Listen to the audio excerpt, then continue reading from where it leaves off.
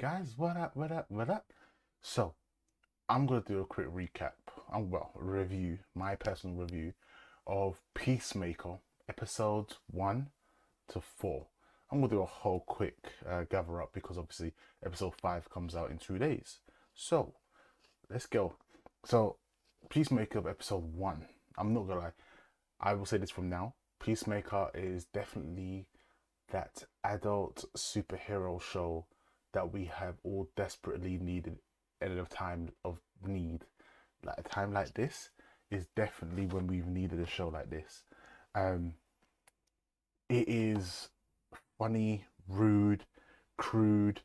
It is vulgarly disgusting. It is amazing. It is probably one of the best things I have watched in a very, very long time, especially a DC show obviously we have if you're looking at two DC shows, you've got Peacemaker and you've got Naomi, two different contrasts, two different ballparks.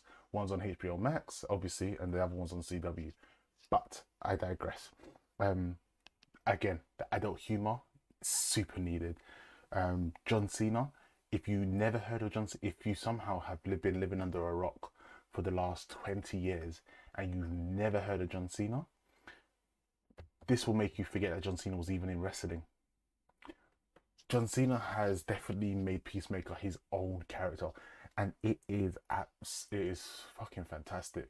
He is brilliant. He is amazing, and coming off of the Suicide Squad movie, it works perfect. Um, like there's a load of things like you know when a man's been in jail and he comes out for the and he come, finally gets released, all he wants to do is you know you know, smash, bust a nut, do what he's got to do, eat some good food. But Peacemaker is hilarious the way he goes about it.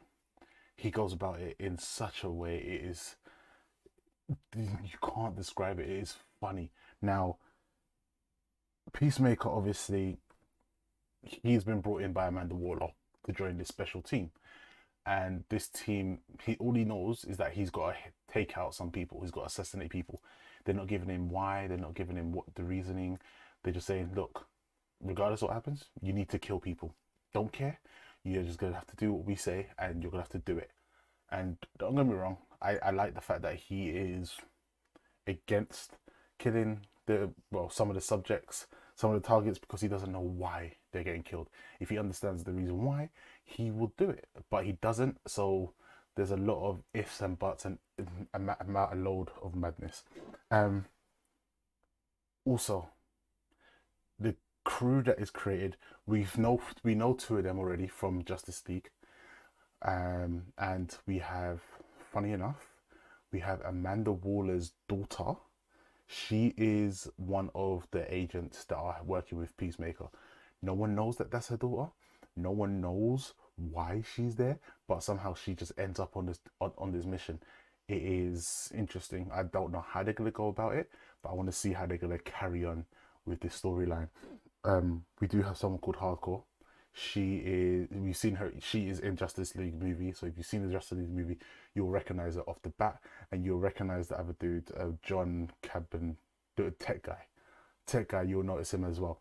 And then you have the leader, Manny, Man, Manny, Manny, Manny, and he is just a, a leader that just wants to get shit done and get it finished, get it over with, and go carry on with his day.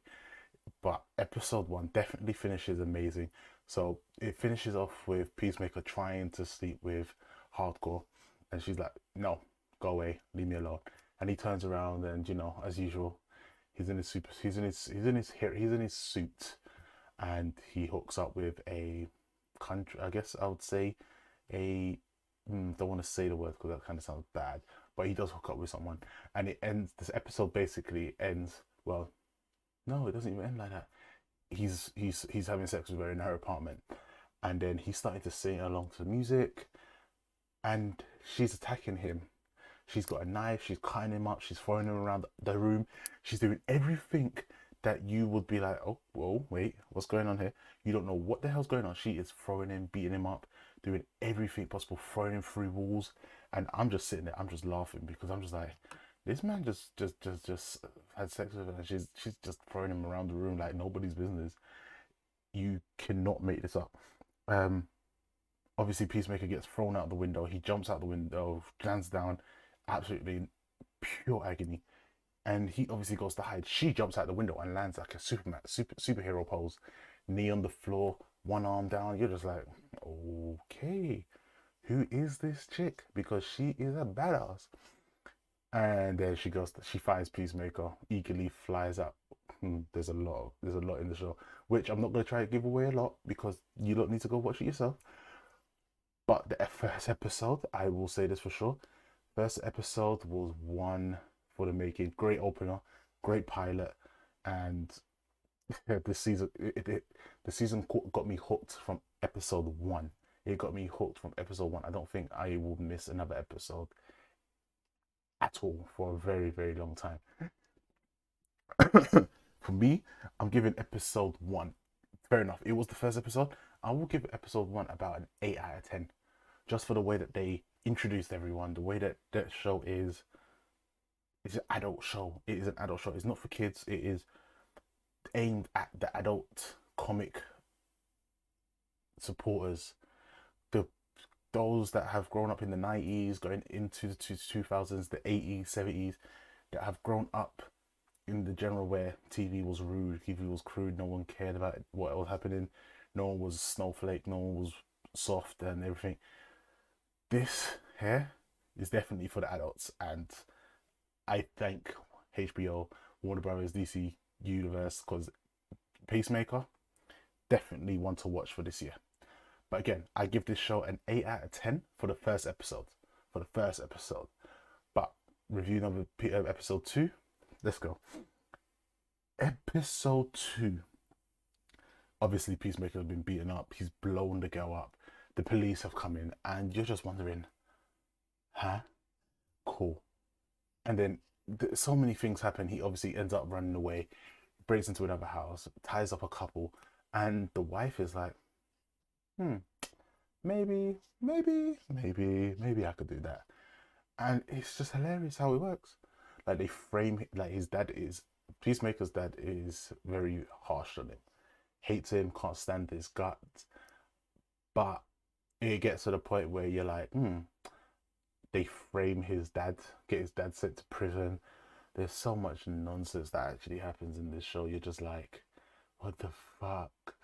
So Peacemaker, obviously, after he's blown up the woman, he jumps out. The he jumps out.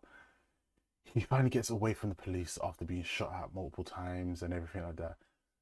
Ah, uh, you know what? I'm gonna spoil. I'm spoiling it for you, but let's just say he. We get another character in the show. Uh, he's one of his best friends. Well, best friends, as they say in the show, and he is an absolute psychopath. He is killing people left, right, and center for he, there was one there was a part of a scene where he was like i can't believe they legalized weed if this was three years ago i would have shot both of you for this i'm just like it's only a joint bruh it ain't gonna kill you it gonna make you high and whatever but it ain't gonna kill you cool um but episode two definitely it was definitely touching a bit of the the, the crude adult side and they it was definitely one for for sure and it was obviously leading up to episode three, which, oh, well, let's just say episode three was a wow doozy. Um, episode three, we finally see some action, so they're finally going to hit the targets that they have assigned Peacemaker to do. Now, not knowing why he's doing it, not knowing what the reason is, Peacemaker cannot pull the trigger when it comes down to it. When he needs to pull the trigger to kill the targets, he just freezes up. He's like, nope, can't do it.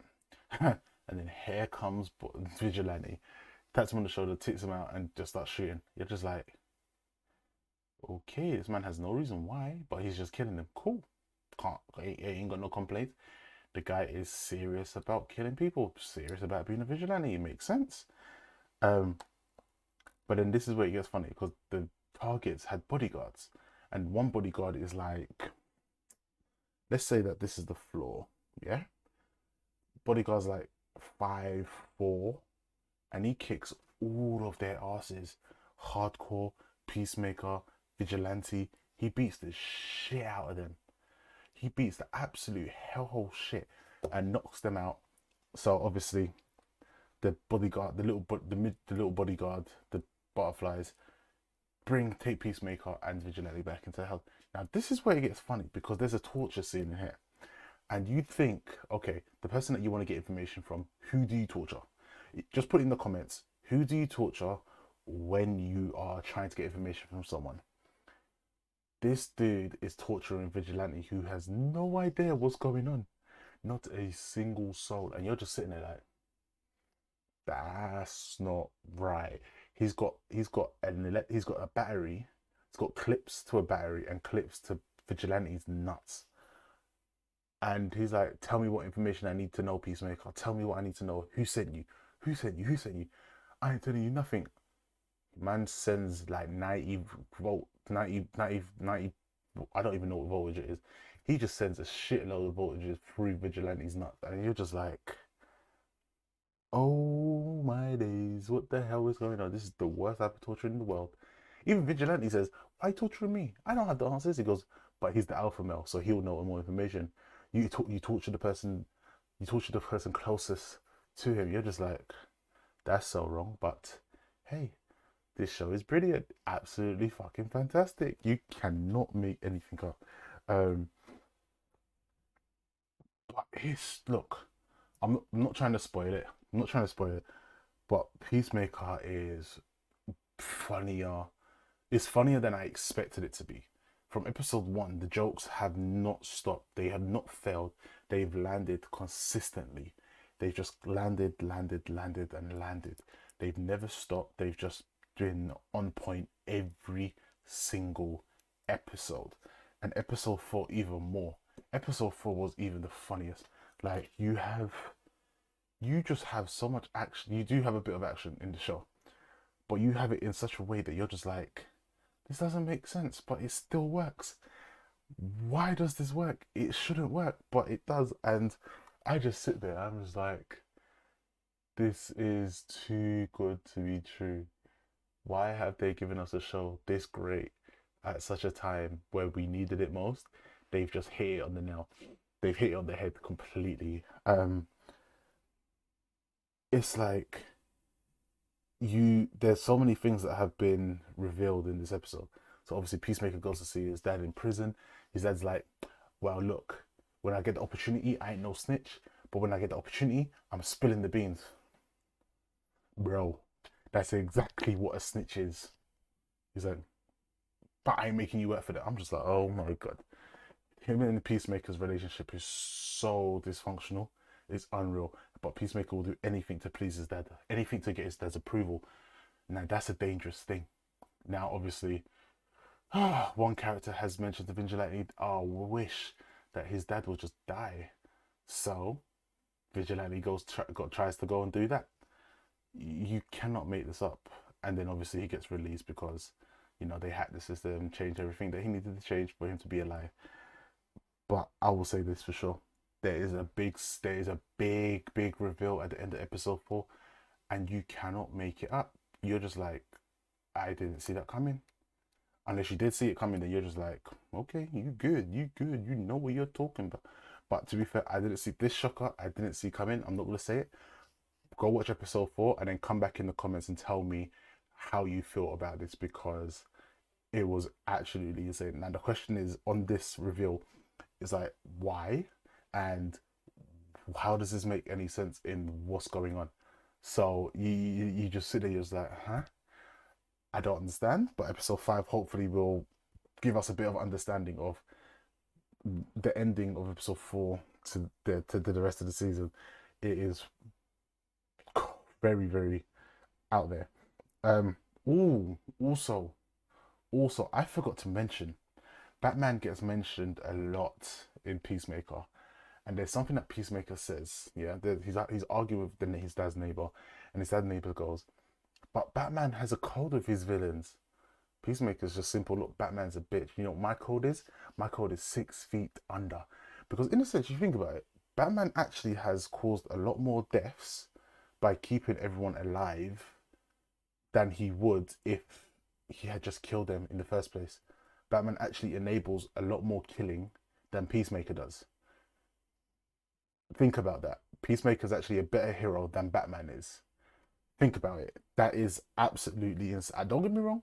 I know it sounds crazy, but Peacemaker is actually a better villain, better hero than Batman is. Batman's actually a villain if you think about it, because Batman is he's putting them in prison. They escape. They kill more people. He puts them back in prison. They escape. They kill more people. Vigilante? No. Peacemaker? Peacemaker is just bang, you're dead. You can't kill nobody else. Batman has actually caused more harm to Gotham than Peacemaker has in his neighborhood or in the world. But episode four, episode four, I'm giving definitely giving another eight out of ten. Um, I will come up with a rating system at some point, but eight out of ten is definitely what I'm sticking with right now. Eight out of ten. Episode four. Episode three, I'm giving it a seven out of ten, just just because we're seeing a bit of a difference, and there was a bit of a calmer side. Episode two, again, that's getting it. That's getting an eight out of ten, just like episode one. Um, so, can't wait for episode five. I'm looking forward to it, and I'm definitely going to give you all a sweet review on episode five. That was episode one to four. Try to keep it in very small, small. Try to not give you too much information so it doesn't spoil your surprises. But the jokes are absolutely fantastic. Go watch it. You have to watch it because Peacemaker is definitely the shit for the adults this, this year. It's definitely another version of South Park. It's definitely a TV version of Deadpool. Just go watch it. It's the DC version of Deadpool, obviously, but he can't grow his limbs, whatever. But the comedy on point. It is to the T. Fantastic. I've been M Rich. Thank you for jumping in. I'll see you next video. Peace.